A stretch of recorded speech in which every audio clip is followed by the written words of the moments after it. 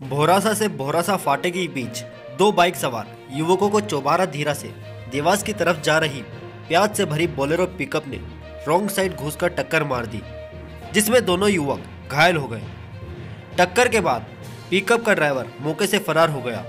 सूचना मिलने पर भोरासा पुलिस मौके पर पहुँची और दोनों घायलों को भोरासा प्राथमिक स्वास्थ्य केंद्र ले जाया गया, जहाँ से उन्हें देवास एमजीएच रेफर कर दिया गया।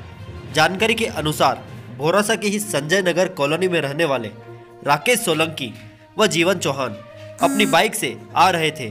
तभी भोरासा से देवास की ओर जा रही पिकअप ने बाइक में टक्कर मार दी जिससे दोनों युवक घायल हो गए।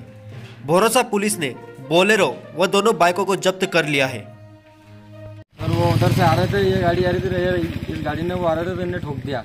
वो उनका नाम एक का नाम है वो क्या नाम राकेश राकेश सोलंकी और एक का नाम जीवन चौहान।